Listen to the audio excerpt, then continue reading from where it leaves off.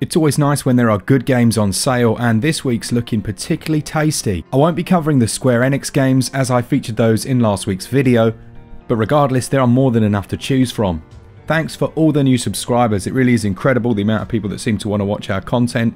Our free game this week has actually been donated by Cultured Bucket, who's an active member from our Discord community, and the absolute legend remembered that Fire Emblem Shadow Dragon is actually leaving the eShop on March the 31st, so bought a copy for us to give away. What an absolute star. To win, just be subscribed and leave a comment down below and actually Cultured Bucket is going to pick the winner. And thanks to the person who gave me some really good feedback on the avoids section, this week's avoids will be slightly improved and a touch more in-depth than you've seen before. So stick around to the end of the video for those. Alright then, what's on sale this week? Well, let's find out. First up, we've got Graveyard Keeper. I really enjoyed this. It's like a dark and macabre Stardew Valley, where you play as a graveyard keeper, but there's also a good chunk of sim in here and crafting. There's a town where you can talk to the locals, but the twist is that dead bodies are obviously delivered to you, and then you have to deal with them. This may involve removing certain body parts and preparing them nicely, and then burying them neatly in the graveyard. It's such an odd concept, but it strangely works. There is a storyline here as well, but I won't go too far into details because it's quite easy to potentially spoil that one. There is a link in the pinned comment if you want to check out our full review, but you're looking at 793 megs, about 50 to 100 hours of gameplay, but it's also quite easy to pick up and play. It's 50% off at £8.99 and that goes on until April the 12th.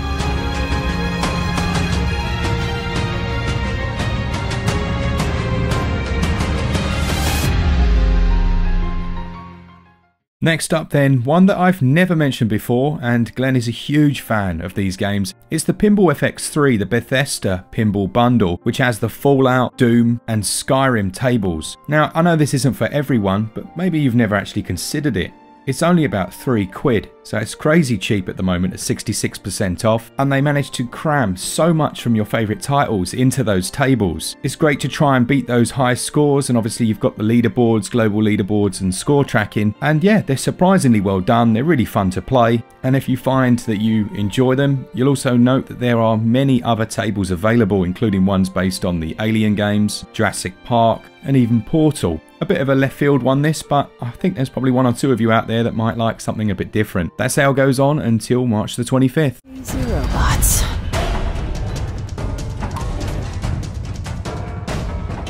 Bring it on. Some games are perfect sales pickups, and one that's always on sale but Really, it's a stupidly low price and potentially there are some of you that don't know about it, and that's the Way Remastered. What I really loved about this was how much it reminded me of old classic adventure titles, but in a slightly different form factor, with incredible music and really a lovely narrative drive that starts out with such a, uh, well, I don't want to spoil it, but it starts out in a really engrossing way. Now, it goes a bit wonky about the about I don't know, three quarters of the way in. It does go a little bit wonky, but it's still worth experiencing and worth seeing out to the end. You're looking at about seven or eight hours to complete it. And at 89p, 93% off, that goes on until March the 28th.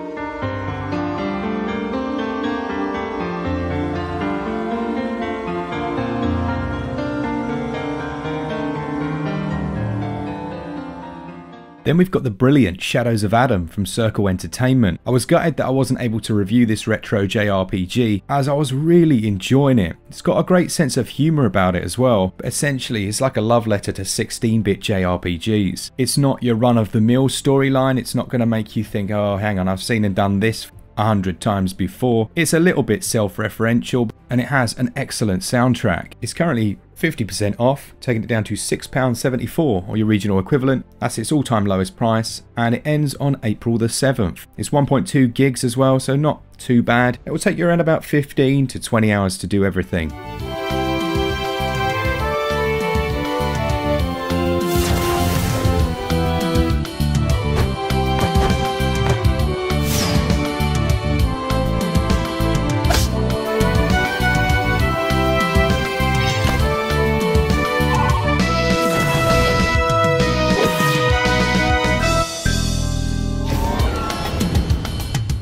Then we've got the Friends of Ringo Ishikawa, which again comes from Circle Entertainment. And if you're familiar with games like Shenmue, then you're going to understand kind of the way this plays out, except it's in that 2D perspective. It's very unique feel in this one, and it's really a game I enjoyed. You'll have your daily routines and things that you can optionally choose to do, and there's a strong storyline that runs through the whole thing. You'll be picking fights with other gang members, trying to make some money, keep your player fed, but also studying and going to bars and things like that. In my opinion, this one's underrated. I really enjoyed it. It's 40% off, taking it down to 8 quid, which is its all time best price, and that goes on until April the 7th.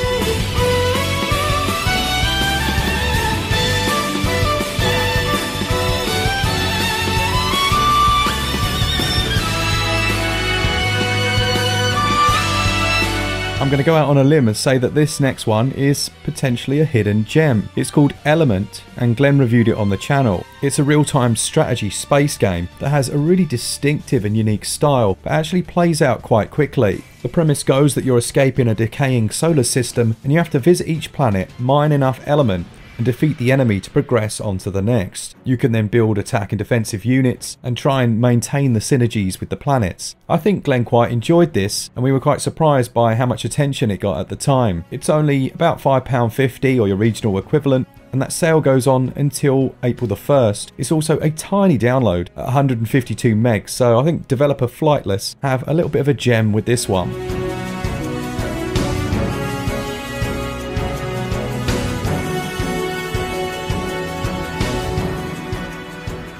Then we've got God's Will Fall, which I absolutely loved. I thought it was brilliant. I know not everyone quite enjoyed it as much as me, but at 25% off, taking it down to £14.99, I'd strongly recommend it. Let me talk you through the premise. You shipwreck upon an island, home of the torturous gods, and you'll have eight Celtic survivors, whom each have unique abilities. And again, each time you fully die, so all of them perish, you'll restart with a brand new band. But hopefully, it won't come to that. You'll move around the island, entering different dungeon layers and trying to defeat the monster at the end of them. If you perish, man, I've said perish a lot, but if you do, then someone else in the party might have to come and rescue you. But what's very cool is when someone dies, like their brother might get really enraged and it'll boost their perks, so it makes it slightly easier for them. But but if you decide, no, I'm not going to go in and save them and move on to another dungeon, then their stats will drop right down because they're devastated. I thought it was really good. I enjoyed the system. There's the potential, if you're good, to complete the game in about four hours, and they are already working on the next lot of DLC and updates for the title. So I think it's one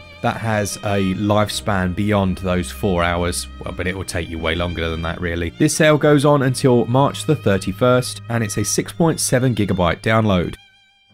Then there's Unto the End, which didn't get much coverage at all when it came out back in December. It describes itself as a challenging handcraft adventure, and you play as a father who basically goes for, through a brutal journey to try and make his way back home. You've got a sword, a dagger, and a torch, and there are some interesting mechanics here, like having to hold on to that torch, but when you're fighting, you might drop it to the ground, and you really do need it. And the combat has a system of parries and counters and is 100% skill based. So essentially, you have to learn to to get better. I really like the art direction. I think it looks really nice. It runs well. It is brutally difficult at times and you know there's potential for frustration there so it's for certain types of players maybe people that like things like dark souls and salt and sanctuary as i think if you combine those two together that's the closest you're going to get to the feeling that this one gives. It'll take you about mm, 5 to 8 hours I reckon to finish this one and it has a 2.4 gigabyte download and will set you back £15.74 or your regional equivalent.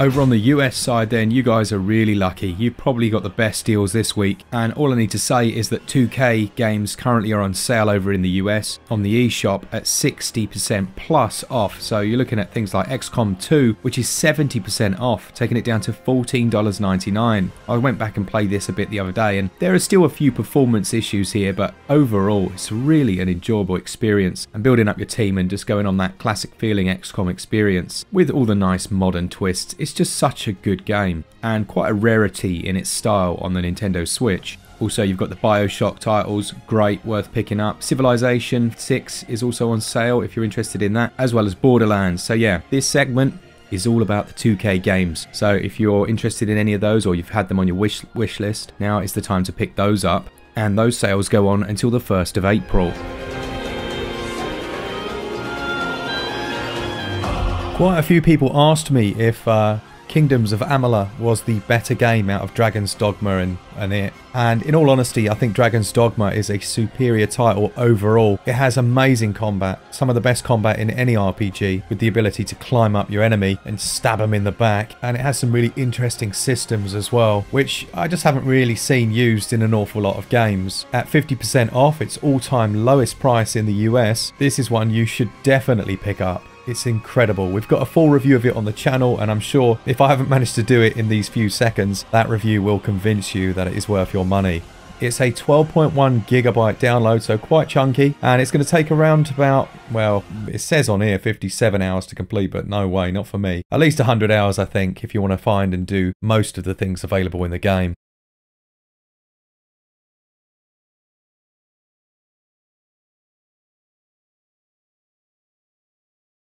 Which takes us on to the avoids. Now what's changed about our avoids this week? Well, I'm going to try and give you a little bit more details rather than just don't buy this, it's absolute garbage. Don't worry, that's still going to be in there. I'll try and give you a few more details on top of that. First up, we've got Arrest of a stone Buddha. I thought, coming from Circle Entertainment, this was going to be quite a lot like Friends of Ringo Ishikawa, which is in this video because it's awesome, but unfortunately not. What I really didn't like about it was its difficulty balancing to the point of just not being fun. You can move left and right, you have different a couple of different weapons, and enemies will just be flooding the screen from both sides. And unfortunately, little things like clunky controls, like bringing up the gun to shoot sometimes doesn't work and you'll get killed, or shooting, pressing the button to pull the trigger sometimes doesn't register and you'll get killed. And because it changes each time in terms of which direction the enemies come from. One crack at the level will be absolutely, well, it won't be fine, it'll be horrible and you'll get killed, but the second time you'll get killed much quicker. Um, it's not a case of just getting good with this, it feels like it's not balanced right, and for that reason, for me, it would be an avoid. And then we've got Solo Islands of the Heart, which looked like a lovely, quirky Wind Waker style adventure, but turned out to be the hottest of garbage. Now, I'm all for walking simulator style games and with a bit of puzzle thrown in, and in fact, some of my favourite games are in that genre, but unfortunately, the puzzles here are incredibly uninspired. It's dull.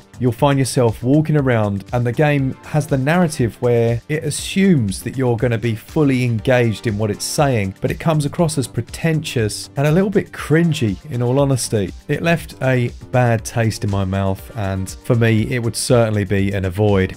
So that's it for this week. Be sure to subscribe. Congratulations to the winners of a free game from last week. Remember, all we do is reply to comments and yeah, we pick the occasional ones and say, well done, you've won a game. Do go and check out the best games coming this week. It's looking like a decent one. And I know these sales are going to be, or potentially all avoids for many of us because we'll be wanting to buy Monster Hunter and a few of the other good looking ones this week. Thanks to our patrons, you guys are awesome. And to all of you who watch the channel, for all things Switch, all the time, keep it switch up. Cheers guys, see ya!